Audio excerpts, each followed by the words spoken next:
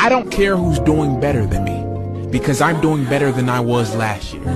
It's me against me. Okay?